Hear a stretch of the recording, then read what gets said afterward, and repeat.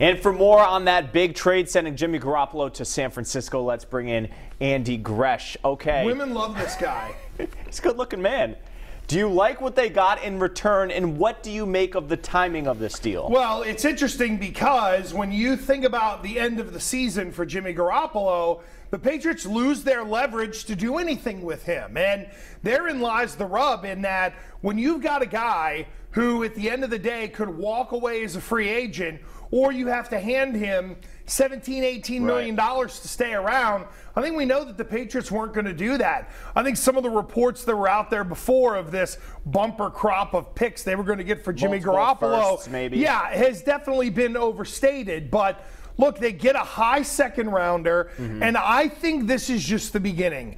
I would be very hard pressed to think right now, as we talk right now, Yianni, that the Patriots are just done and they just liquidated an asset and Brian Hoyer got released, and they go turn around and sign Brian Hoyer, and that there isn't more to come. My first thought when this happened was they get a high second round pick for next year because the middle round currency is about to get traded either with players or for players, and you could take that high second rounder next year, slide down twice, get a third and a fourth, and you're right back in business. That would seem very Belichickian. All right, so they're all in on Tom Brady at 40 years old. He stated he wants to play into his mid 40s. He is their future, even at his advanced age. So. Does that surprise you? Many thought he wouldn't maybe end his career right, in well- New England because they don't have a backup right now. Hoyer, yes, but it's Tom Brady here. Yianni, I think it's relative to what you think is the future. Because do you think Bill Two, Belichick three years, four years. All right. Do you think Belichick is thinking four years down the road? Because I think he's thinking this year, next year, in terms of if Hoyer comes into the organization, you've got him for the rest of this season and next season. Brady will be 42 by that end. Maybe they have an idea as to what they're going to do. I don't think Belichick is going to unplug, but I think for them, it's managing the now and the Brady years. However long they think that window is, we don't know. But to me, this is a clear sign that if Brian Hoyer, who got released by the 49ers after they got Garoppolo, if he walks through the door to be the backup, he's only 32 years old.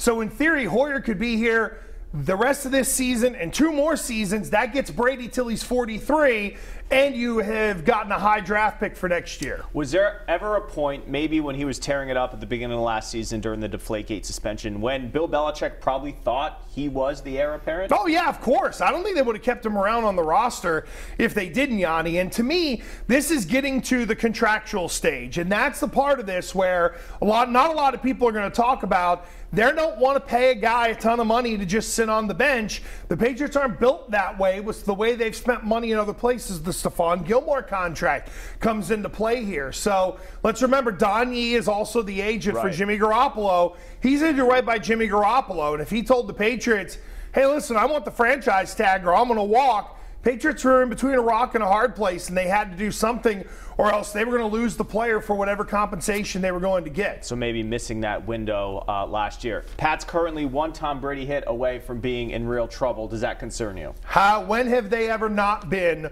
one hit away on Well, Tom Brady from when they were in real trouble? Hoyer, no? I mean, no, but I mean, think of the past since Brady has been here. True. You know, didn't didn't we say that in 08? And then Matt Cassel stepped up, and what did they do with him? They flipped him for a, a second round pick, and they spent a seventh on him.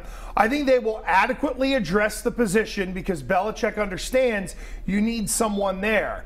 But what else are they going to do before four o'clock on Halloween to help make this a better football team? To me, that's the big question. All right, what do we make of Jimmy Garoppolo? We've only seen six quarters of him as a starter. He goes to San Francisco. Kyle Shanahan, an offensive mind. Do you think he has a Pro Bowl type career for the next 10 years? Yeah, I think once they get talent around him, right now he's going to go to a football team that's got hot garbage around him. So there's going to be some issues there, and some people are going to down, you know, probably downgrade Garoppolo at the end of this season. Plus, he's got to go in and digest that offense as well. The guy really gets screwed is Kirk Cousins because everybody Right. thought Cousins Yeah. was going to go to San Francisco. But yeah, I think he's going to have a good career. I think he's got a good coach who he can partner up with now in Kyle Shanahan and ride out for the next, you know, four to six, maybe even eight seasons if everything goes well. But let's make no mistake about it. This is the Patriots getting building up value and then flipping a guy to get better value. And when they've done this with guys like Matt Cassel, they've always gotten a higher draft pick. than where they drafted the guy. So he sat here, the legend was built up. And ultimately, they were able to flip him because they've had backups here before, but they haven't been able to flip for that kind of currency. So they got to believe that the guy's good, and the Patriots have built up that value. Tell you what's stunning too, and Adam Schefter reported it is he was bullish about the Pats not trading him for multiple ones. So something has changed according to Schefter's sources. Well, maybe he had the same sources that uh, Mort had when it came to Deflategate and people jerking him Which around. very good. Last one. You've covered the Pats a long time. Where does this rank on just Monday night? Shefty tweet, surprise level. Um, I think the trade deadline has actually taken on some meaning now in the NFL, whereas it used to be just something that really didn't matter. So I think what we're seeing is a sea change in the league to where people are willing to do business because they they know that it's let me you know I think you could take a Patriots running back right combine it with a third round pick and get somebody to help you defensively. I really think that is out there and it's up to them to find, which is part of why this move has happened. And you know what's interesting?